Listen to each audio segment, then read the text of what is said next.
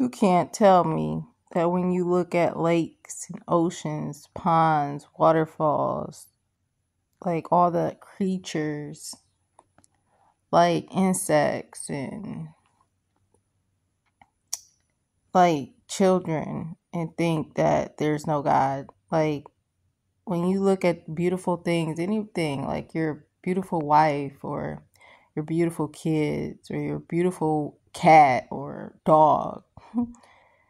You can't tell me when you look at them, you can't believe there's a God because it must have took the most unbelievable but believable thing to create such beautiful things. Like see these beautiful colors on that? And like I love like just little stuff that just make me happy and it's so comforting and beautiful and warm. I love I I see art and poetry and so many different things. It don't have to just be words, okay? Or a picture that sells in the museum for like a thousand million billion dollars, hundreds dollars. But um I always look at these things and always think that there gotta be there has to be a God. Like think about it like this. Like when you die, think how depressing it must be to be like, okay, when I die, I'm not going nowhere. I'm just going to die. Like, I live this world and I'm just going to die, and that's the end. Like, don't that seem sad? Don't that seem impossible?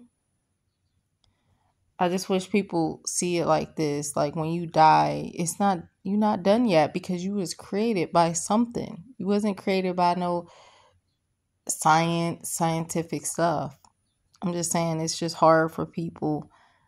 Well, it's hard for me to believe people look at so many beautiful things and not know that there was a creator. Just like you create YouTube videos. Jesus created earth and he created heaven.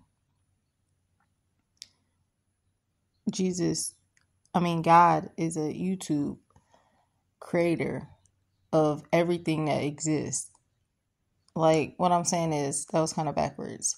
Like there wouldn't even be no YouTube and technology if if it wasn't for of course people. But before there was people, God still created everything. And he may didn't create technology, but again, there wouldn't be people to create that if it wasn't God. So when people post content on YouTube, TikTok, and yes, the, whoever invented YouTube and people who invented technology and the computer and PC, but you have to think about it deeper than that. How was these things possible to begin with? How was people created? But I don't, I don't, I don't know. I just see beautiful things and always think there gotta be a God. Not because I don't believe from the Bible and just like since I was six years old, but I think about I put my shoes in other people I put my shoes in other people's shoes and understand why they don't believe in it. And people believe in, you know, gravity to sit on things, to travel. Anything where you have to literally trust that you won't fall. That's how it is believing in God. When you get on a plane and you trust you ain't gonna crash or it's gonna not stay afloat in the air, or when you sit on a chair or when you simply see the leaves blowing and the wind blowing on the waters, like of a lake or a pond, I always look and just be like, I know there's a God. I, I know it has to be somebody as beautiful as that who created earth because God is so beautiful because he created so much beautiful things. That's why this world is beautiful, but the people are are beautiful, but their souls and how they act and behave are ugly, which makes them ugly, which nobody's ugly. Everybody's unique. But I'm talking about if you want to act foolish and sinful or in bad ways, that's why this world is bad. This world is bad, but it's a beautiful place. It's not an ugly place because sand fell on the earth because of Adam and Eve. None of this was per- none of this and a lot of people blame God because they were like, why would God allow this? And I understand it it does not have to do with God. It has to do with the devil. And and when evil fell in this world, the and the devil fell out of heaven, had to be cast out of heaven, excuse me.